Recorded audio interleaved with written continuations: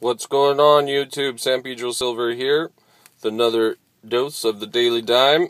And right above the bankruptcy attorney's ad, we've got a article U.S. poverty on track to rise to highest since the 1960s. It says that the uh, the ranks of American poor are on track to climb to levels unseen in nearly half a century erasing gains from a war on poverty in the 60s amid a weak economy and fraying government safety nets or net.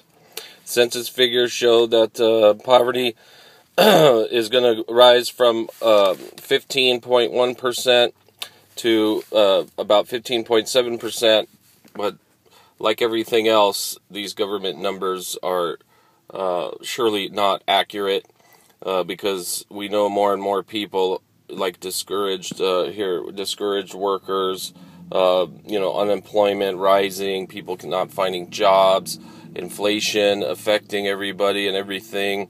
Uh, and it's only going to get worse, right? Um, uh, they said something here about uh, uh, the figures are going to be released in, in late fall, right before the elections.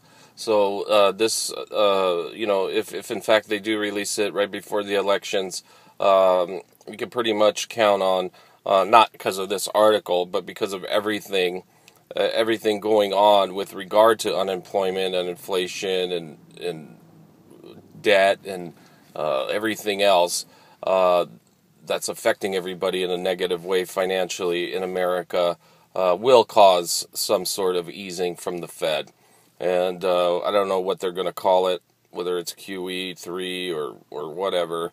Uh, they will pump some money uh, into the system, and uh, you know,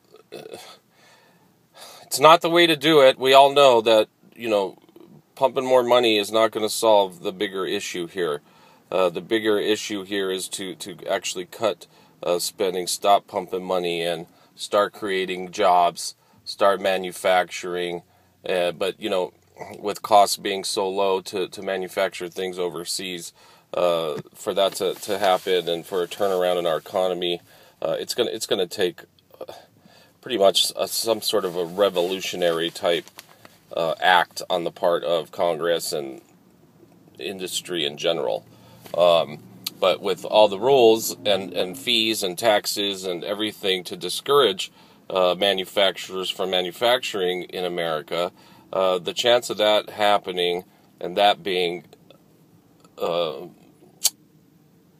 factories opening up and manufacturing uh, items and products uh, here in America until they do something. You know, I, I just don't see. I just don't see a change occurring. So um, it's important just to you know, if you're not affected uh, in a big way and you're still able to save, uh, continue to save, guys and girls. Continue to save because the future uh, will get worse before it gets better with regard to economic uh, policy.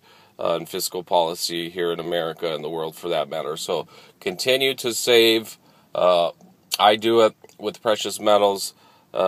save a little bit of cash, not much, but uh, I'm just trying to save. I'm trying to save because I I, I do see, uh, like probably everybody who's watching this, you see uh, a bleak uh, future uh, on the rise here. So um, just wanted to make a quick video about that, and uh, in this little comic area here shows says foreclosed LA properties in despair, and the big giant building is the the bank, the slumlord living high on the hog. It kind of uh, is a great depiction of what's happening here uh, in America, and it's only going to continue to get worse as long as uh, as long as they're uh, able to get away with it. They will.